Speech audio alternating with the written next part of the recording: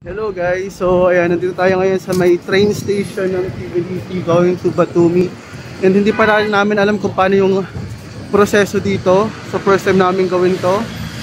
I-check natin kung makakapag-book tayo ng ticket. Hindi namin alam kung paano yung uh, gagawin. Basta alam lang namin pumunta kami ng Batumi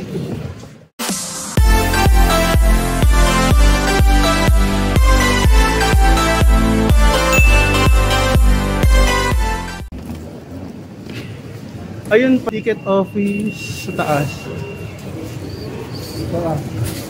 Ayun no, ticket office.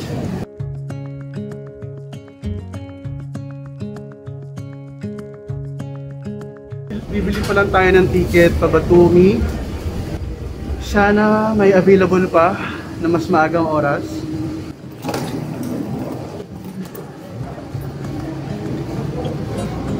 Nasa na? So ayun, meron pang available. Trip ay first class, 60 lari. O kaya naman kung second class, nasa 24 or 25 lari. So yung magiging travel natin ay uh, mamaya pang alas 5, no? Pag umakyat ka rito, nasa taas yung pinaka-train na ticketing nila. Tapos kuha ka lang ng number doon, tapos hintay mong tawagin ka. Then meron namang mga, ayan, makikita mo. Tapos ang kailangan lang is passport. Yun, yun na. Tapos intayin mo lang, ipaprocess yung ticket mo. Hiningal ako doon kasi ang taas nung ano, nasa taas ng mall yung ano nila, ticketing. So ito yung kanilang ticketing station. Ay. Ayan, meron tayo ticket. A few minutes later.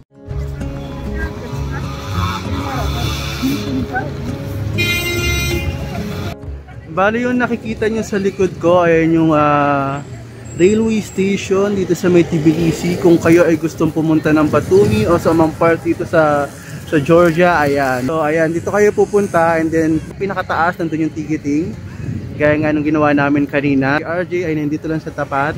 at siya ay bumibili ng gamot and then after nito, maghahanap kami ng aming maghahanap kami ng aming makakainan kasi yung aming train ay alas 5 pa naman. So ngayon ay mag-aalas 2 pa lang naman ng hapon. So medyo matagal-tagal pa yung aming paghihintay-intay. At hindi pa kami kumakain, wala pa kaming breakfast sa Godauri.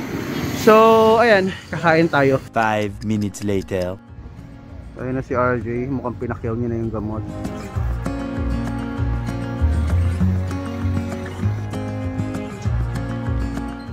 Later. So ito yung ating magiging train Pabatumi. Ang hinahanap natin yung ating carriage. Kung nasaan carriage 4 daw. So, saan kaya makikita yon? Haggard na haggard na mula pa sa Godauri. A little longer than a few minutes later. Ang hirap-hirap na nga ng maleta ko. Baka dito lang sa baba.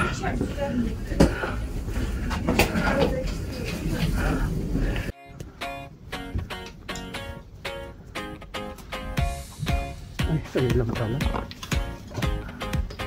1650. Ayan, 1650.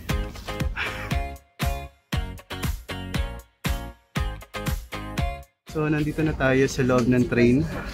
Waiting na lang tayo, 5.20 yung alas nito. So, alas 11, nandun tayo sa Batumi at ito yung itsura ng ating train. Ang pagkakaiba lang, wala tayong salamin. so, hindi natin may enjoy yung travel. Anyway, bawi na lang tayo sa pagbalik dito sa Tbilisi. So, yun, pero nakaka-amaze. Ngayon lang ulit ako nakasakay ng train yung train na ganito ha kasi sa Pilipinas ano eh yung train doon binabato ng buhangin tapos binabato ng ihi Nakatingin sa yung bata. so ayun yung bata.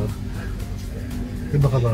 so ayun ito na naman si nanay kanina pa yung pabalik-balik Eh, wala na yung bata. oh, so ito yung ating area so yung likod niyan tapos yung dito sa side may yan sabitan ng mga panlamig and at the same time kung ikaw ay gusto ng chocolate o naman ng ah, tubig. So ayan, meron ditong vending machine.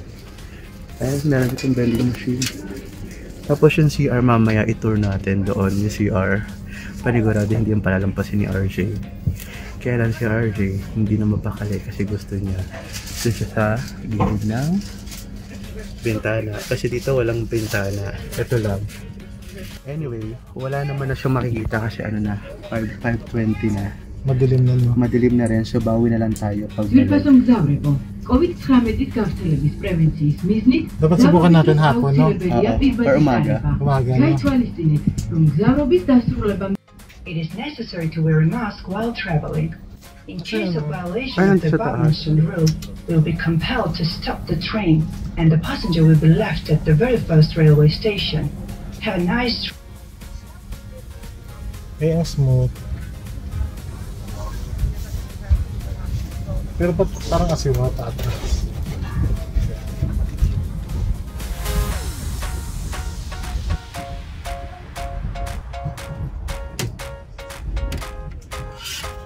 Meanwhile, Naging tayo ng mukha at feeling ko ang dumi-dumi na ng mukha ko.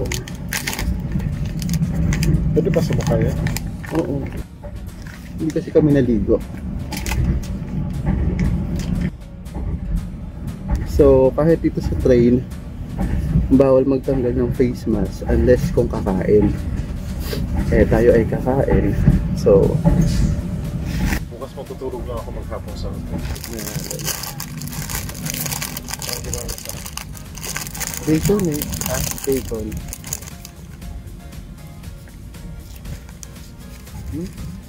later. So, ayan na. Halika, labas na tayo. No, brother. Thank you.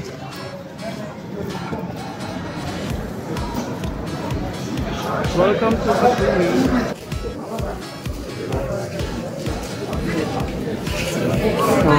Taxi, taxi, taxi!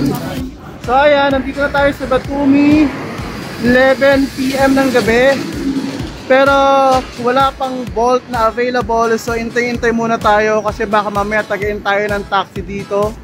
And hindi naman tayo marunong mag Georgian language. So maya maya na lang muna. So,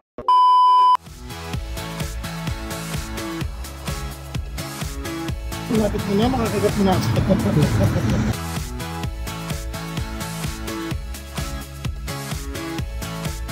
A few minutes later.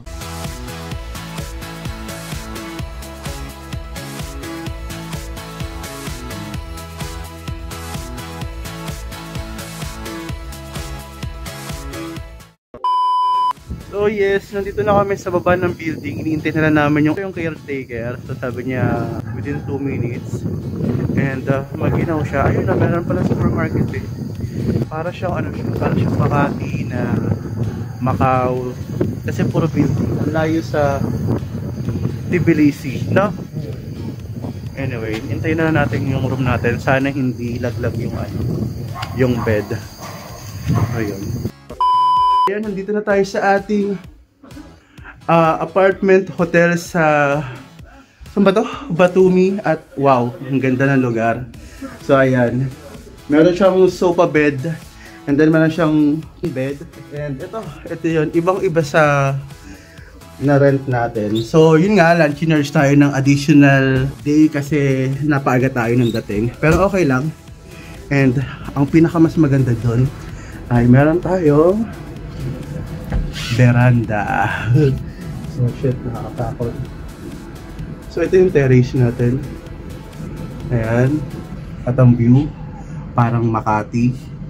And ito, ito na.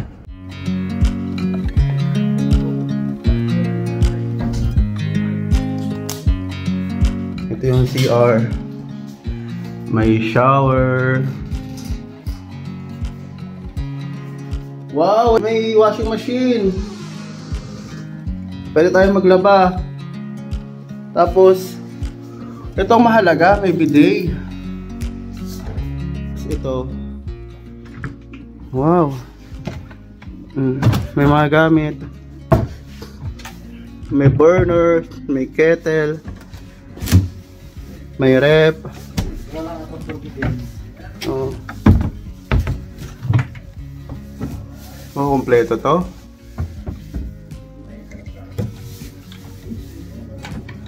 So, ayan.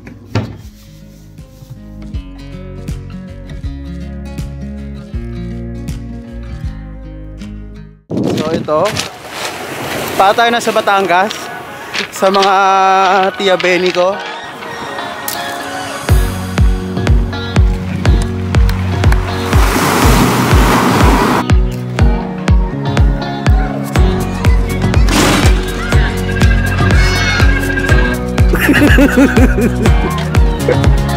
Hehehehe